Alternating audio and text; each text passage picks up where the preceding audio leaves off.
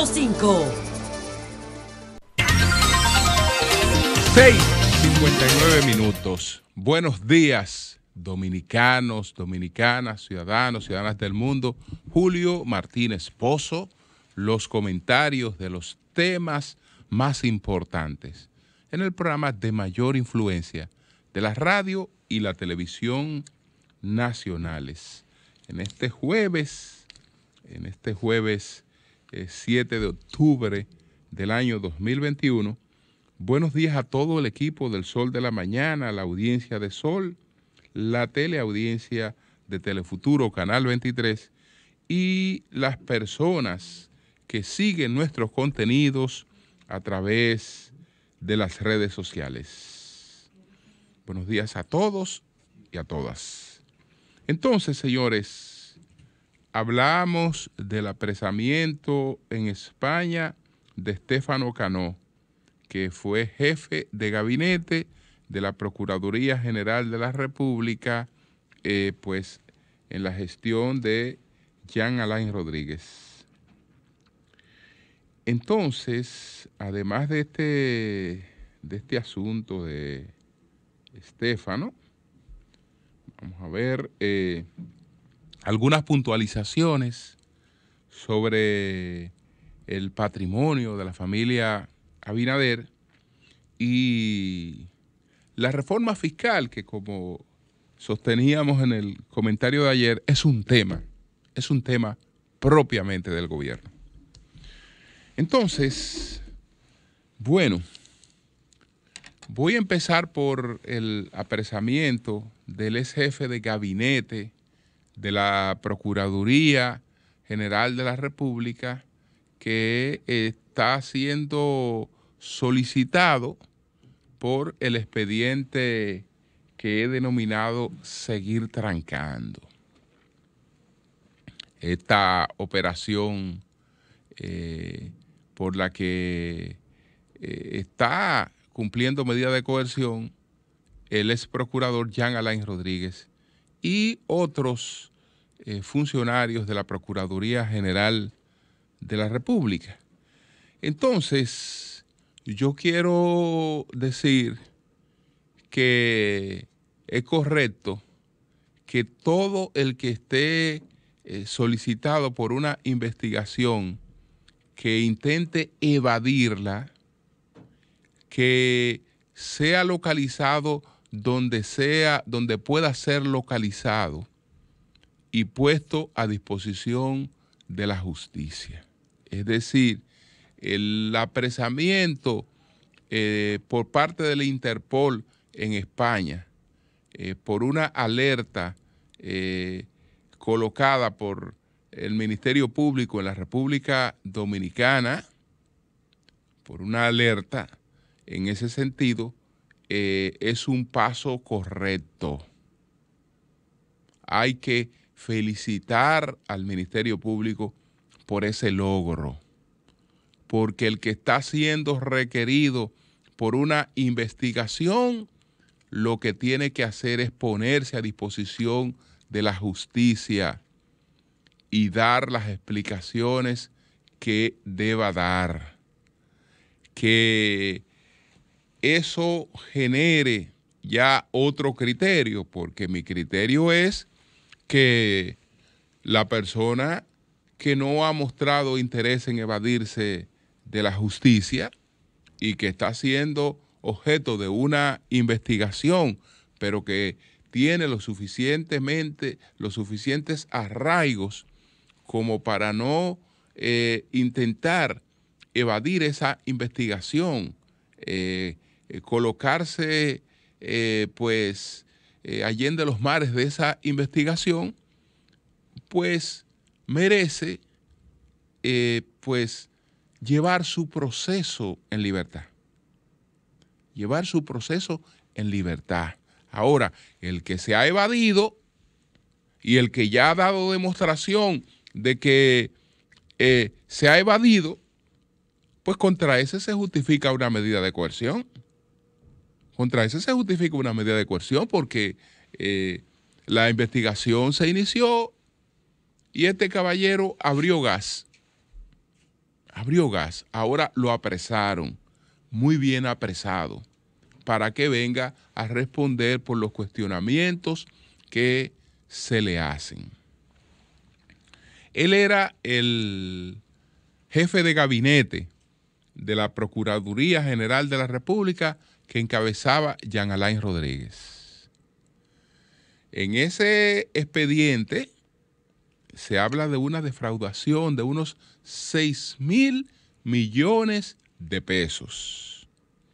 Estamos hablando de los grandes bultos que siempre se han hecho en la lucha contra la corrupción en la República Dominicana que terminan convirtiéndola en un disparate en una tontería. ¿Por qué? Porque lo que se distrae, lo que supuestamente se roba, entonces queda sin importancia frente a la magnitud que se le dan a las cosas. Cuando estamos hablando de que en esta situación se está acusando a un grupo de personas de eh, haber cometido eh, un robo por más de 6 mil millones de, pesos, haber distraído más de 6 mil millones de pesos, a ellos lo están acusando de haber distraído todo el presupuesto que manejaron en el periodo que les tocó estar en la Procuraduría General de la República. Un solemne disparate. Pero eso es para los titulares. Eso es para los titulares porque cuando vamos a las imputaciones precisas, entonces ahí vemos que el asunto se reduce sin que eso le quite importancia, pero se reduce. ¿De cuánto les hablé que es la totalidad de, la defraudación, del fraude? De unos 6 mil millones, en el caso eh, de la Procuraduría General de la República. Pero cuando usted entra ya en los detalles de las imputaciones precisas, esos 6 mil millones bajan a millones. Y en el caso concreto de este caballero, eh, hay una imputación precisa. Y esa imputación precisa se reduce a 50 millones de pesos. ¿Qué quiero decir con esto? Que no hay que darle importancia aunque, a que una persona supuestamente se robe o haga un fraude por 50 millones de pesos. Sí hay que darle importancia y hay que perseguirlo donde quiera que esté y traerlo y ponerlo a disposición de la justicia. Pero fíjense que me están haciendo un bulto, usted me está hablando de unos 6 mil millones, pero a esta persona la imputación concreta, específica, tiene que ver con unos 50 millones de pesos. Lo otro es referencia genérica. ¿Cómo son esos 50 millones de pesos? Bueno, el Ministerio Público dice que hay una empresa que se llama Soluciones Mansur que recibió pagos por esa suma, 50 millones de pesos, sin prestar los servicios que debió prestar, por eso 50 millones de pesos. Una empresa que reciba un pago por unos servicios que no prestó, no ha hecho otra cosa que robar. Si eso es así, es un robo, es una estafa.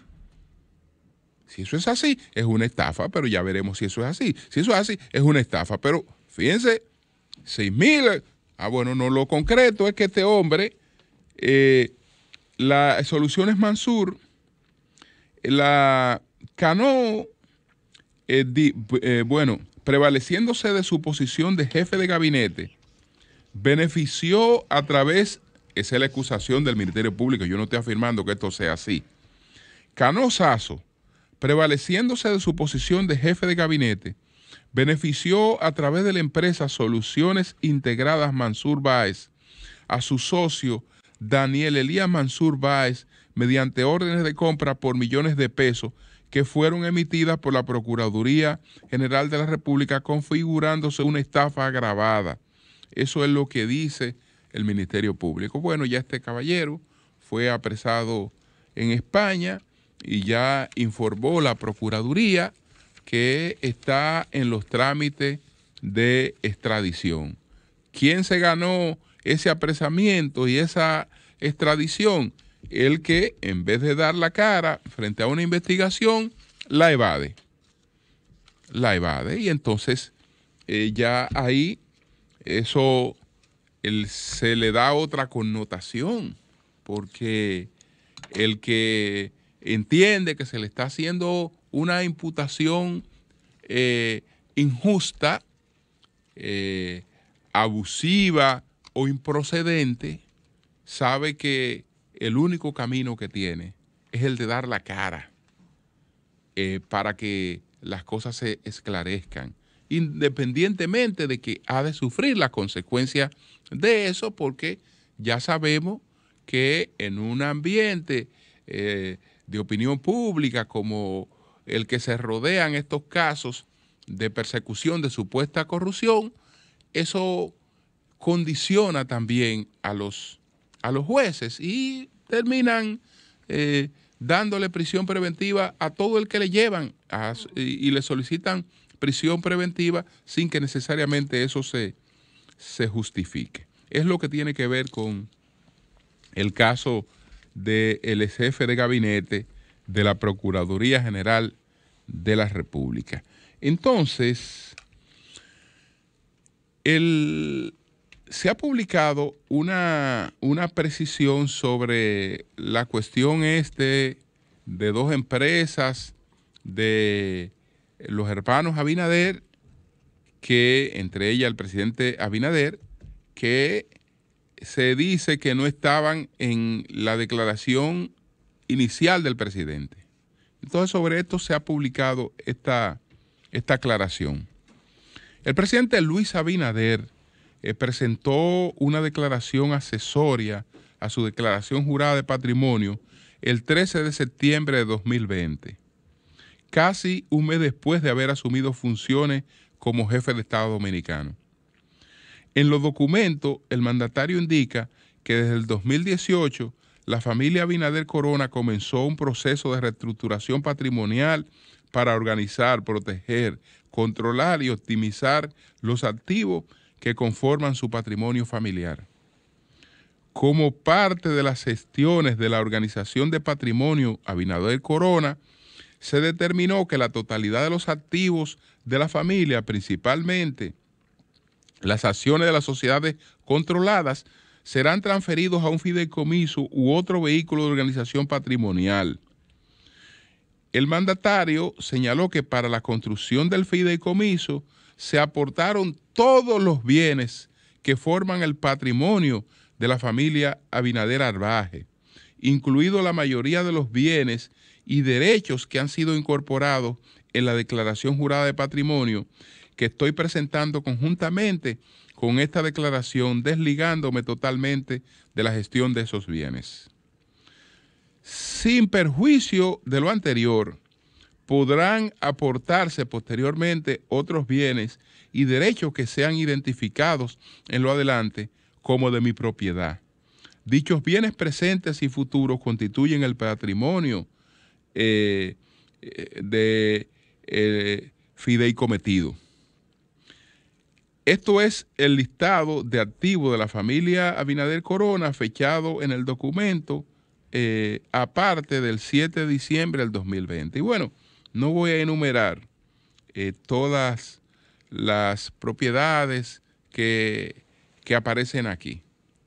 Lo que voy a destacar es que ahí el presidente ha presentado eh, una declaración complementaria de la declaración inicial que hizo. ¿Qué está evidenciado ahí?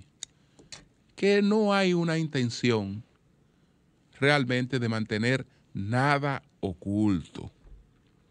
Yo creo que tenemos que separar la paja del trigo. Y llamarle corrupción a lo que es corrupción y no pretender eh, tildar de corrupción o de irregular lo que realmente no lo es. Lo que realmente no lo es. ¿Qué es lo importante cuando estamos hablando de los recursos eh, que tiene una persona, de los bienes que acumula una persona? Lo importante es determinar, ¿provienen esos bienes de fraudes al Estado, de, corrupción administrativa? No. ¿Provienen esos bienes de actividades ilícitas? No.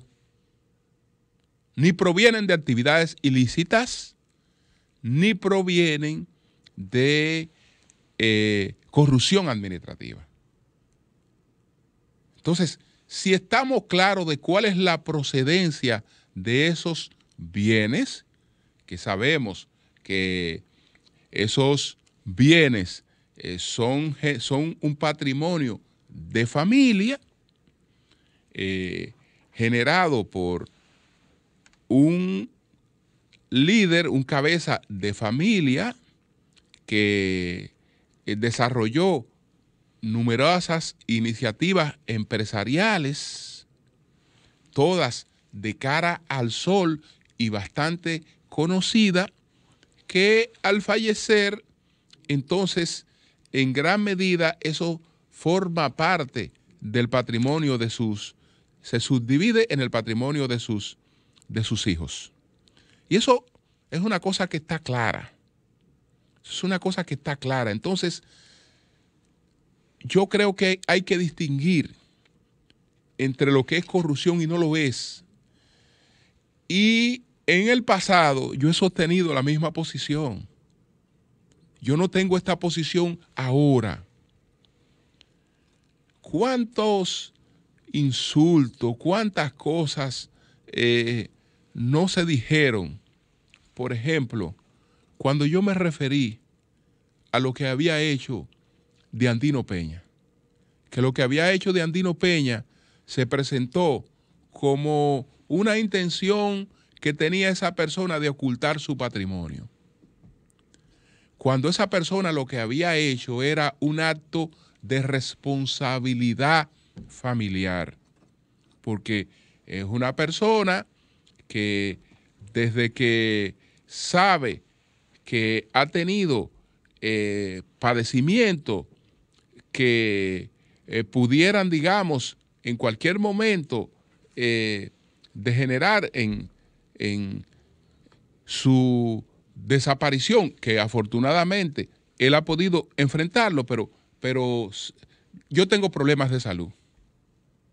Yo tengo problemas de salud y estoy en plena lucidez y en, y en, y en la posibilidad de dejar mis cosas claras y organizadas. Entonces, en esos momentos yo expliqué lo que había ocurrido cuando se estaba presentando, no, este caballero eh, lo que está haciendo es ocultando el patrimonio. No, ese caballero no estaba ocultando ningún patrimonio.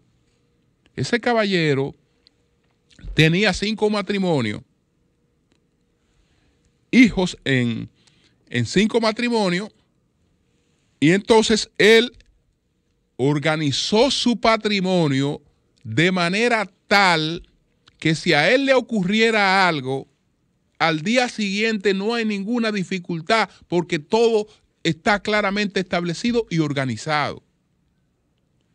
Y entonces, en vida, distribuyó el patrimonio y se quedó como administrador, pero lo distribuyó. Es decir, si yo no estoy, mañana está claro aquí qué es lo de cada quien, qué corresponde a cada quien. A nosotros no, su robo, corrupción y, todo el escándalo que, que se le hizo a él por esa cuestión.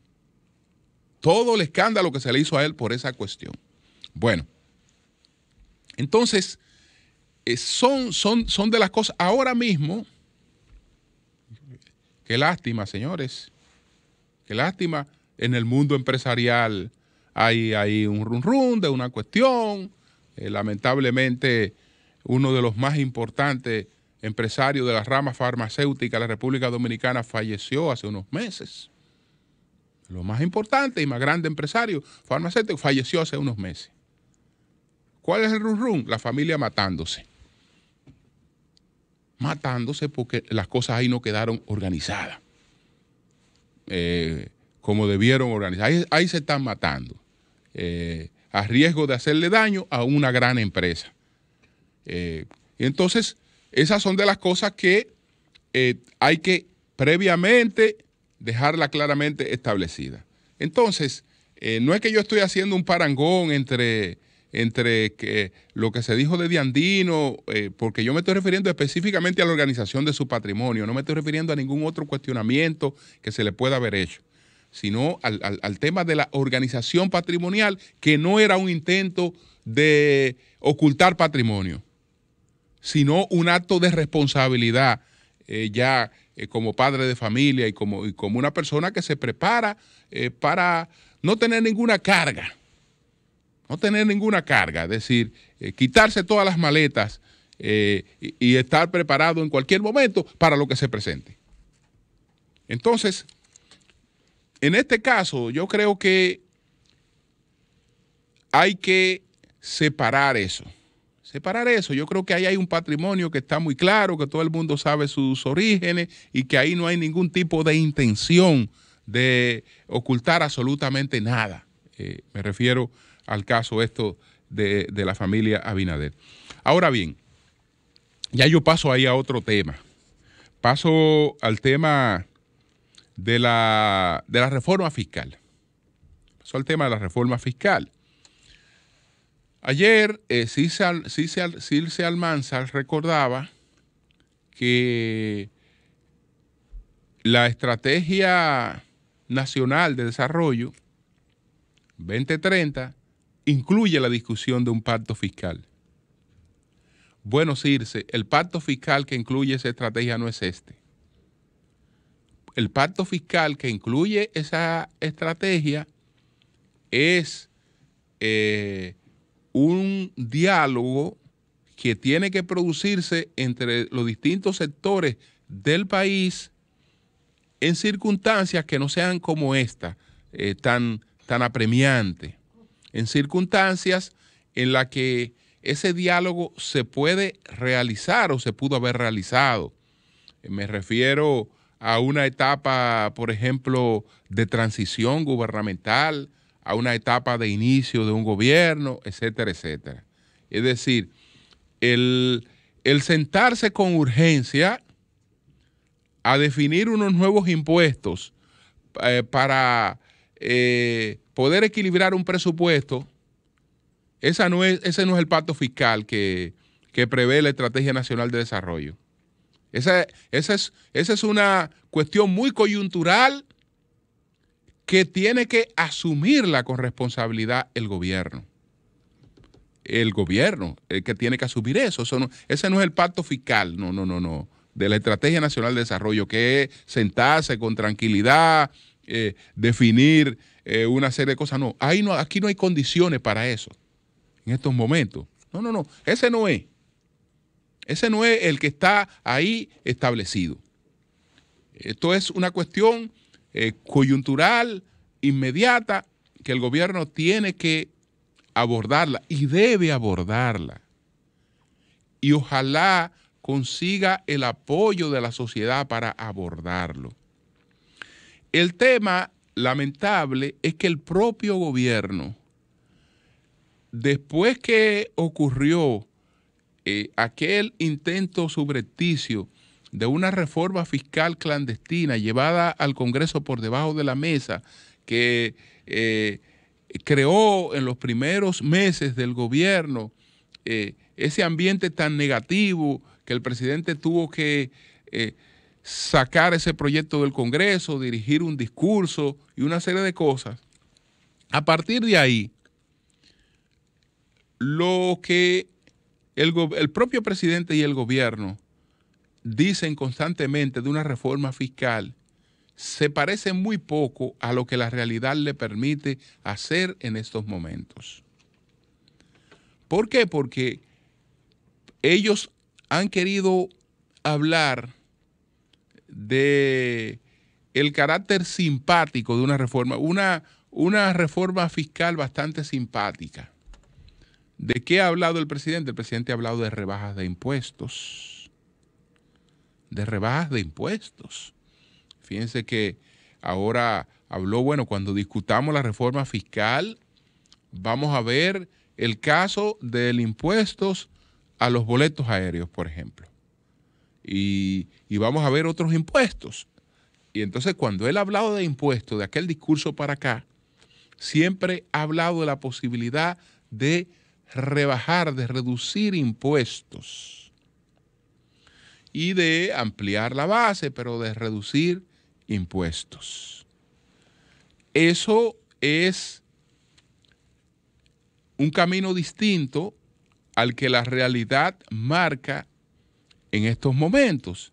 Por eso que en principio decía cuando eh, se empezó a hablar de estos temas en ese sentido, que eh, parecería que estamos emulando la situación que se da, eh, que se dio con el Imperio Romano. Porque nosotros, cuando vayamos a una reforma, vamos a ir a beneficiar a la gente en vez de perjudicarla. Eso, eso esa es la narrativa que se ha vendido. Vamos a beneficiar a la gente en vez de perjudicarla. Entonces, por eso la, comparación con lo que ocurrió con, Roma, con el Imperio Romano, cuando Roma empieza sus grandes conquistas, que se produce la conquista de Macedonia, por ejemplo, eh, pues los romanos recibieron una gran noticia. A partir de ahora, cero tributo por parte de ustedes al Estado, porque el Estado con las riquezas que ha recibido por esta eh, conquista, eh, puede, digamos, cubrir sus necesidades y tiene excedente. Pero bueno, después vinieron otras conquistas. Vino la conquista del reino de Pérgamo, vino la conquista de Siria, y entonces Roma dio una noticia aún mejor. Miren, señores, no es que ya no le voy a cobrar impuestos, no, no, no, no solo es que tienen el beneficio de que no tienen que pagar impuestos. Ahora ustedes tienen un beneficio adicional. Les estará llegando una retribución del exceso de riqueza que tenemos. Es decir, que en vez de un Estado que cobra impuestos, tenemos un Estado que redistribuye a los ciudadanos riqueza de las riquezas que tiene y que acumula. Fíjense lo fabuloso qué era aquello. Lo fabuloso que era aquello. Pero eh, después las cosas cambiaron. Después las cosas cambiaron. Y aún cambiando, ellos tuvieron una oportunidad que yo no veo en la República Dominicana en estos momentos a la hora de abordar el tema fiscal, a la hora de ver desde el lado de las recaudaciones, de los ingresos, por, dónde es que nosotros vamos a buscar mayores ingresos. Aparte de las reducciones de las exenciones fiscales, ¿por dónde? Eh, bueno, Roma en tiempo de Vespasiano, del emperador Vespasiano, encontró una fórmula también fantástica, porque se necesitaba amoníaco para, para curar eh, y desgrasar las pieles, se necesitaba amoníaco, y Vespasiano entonces descubrió que a los baños públicos, habían unos beneficiarios de los baños públicos que iban y recogían por tanque los, los, orines en los baños públicos para extraer el amoníaco para la curación de las pieles.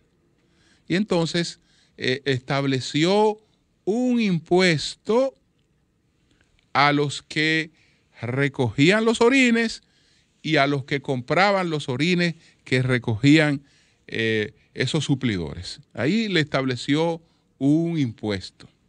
Cuando su hijo Tito le dijo, papá, pero esto no es ético, eh, ¿cómo es que vamos a tener un imperio que viva de los orines, etcétera?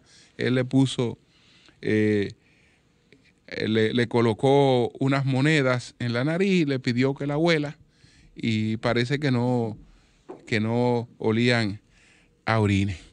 Y entonces, ok, descubrieron ahí una fórmula para, para cobrar impuestos sin afectar a la población. Sin afectar a la población. Pero esa no está en estos momentos tan, tan, tan clara, tan, tan definida. No lo está. No lo está. Entonces, lo primero es que el optimismo del gobierno tiene que ser más realista. Tiene que ser más realista. Y el discurso frente a la gente más realista. Si toca sacrificio, hay que hablar de sacrificio, que la gente se prepare y explicar por qué. Y desde luego, del punto de vista del gasto, el gobierno tiene que mostrar eh, a los sectores con lo que tiene que llamar a, a, conversar, tiene que mostrarle desde el punto de vista del gasto cuáles son sus iniciativas. Pero ya esas iniciativas no pueden ser intenciones, no pueden ser promesas. Sabemos que tenemos la situación del sector eléctrico y de el tema del subsidio eléctrico que eh, frente a un tema de una reforma, si esa parte eh, no está solucionada o esa parte eh, da toda la apariencia de haberse agravado, eh, ahí hay un contrapeso muy fuerte para el tema este de, de una reforma. Eh, y entonces tiene que presentar desde el punto de vista del el lado del gasto cuál es el sacrificio, cuáles son los sacrificios, cuáles son los aportes que el gobierno piensa hacer en esa parte, para entonces ver con la compensación de los ingresos hacia dónde vamos, hacia dónde vamos. Bueno, nos fuimos con las, las exenciones fiscales. Eh, lo que único es que aquí todo el mundo está de acuerdo con que se eliminen las exenciones fiscales, menos las que me toquen. Menos las que me toquen. Eh, porque eh, hay gente que lo veo que opina, por ejemplo, en Twitter o donde sea, contra las exenciones eh, que tienen sectores empresariales. Ah, pero esa misma gente es beneficiaria de las exenciones del cine. Entonces, esa la dejamos, ¿no? Que han sido muy provechosas. Esa la dejamos. Las que vamos a quitar son las otras. Y cada quien, pues, tiene una sugerencia para eliminar una exención. La exención que vamos a eliminar es la que a mí no me toque. Es la que, porque la que, la que no aporta es la que le toca a los otros. Esa es la que no aporta. Esa es la que no aporta. La que eh, específicamente toca a cada sector y ya esa sí tiene problema.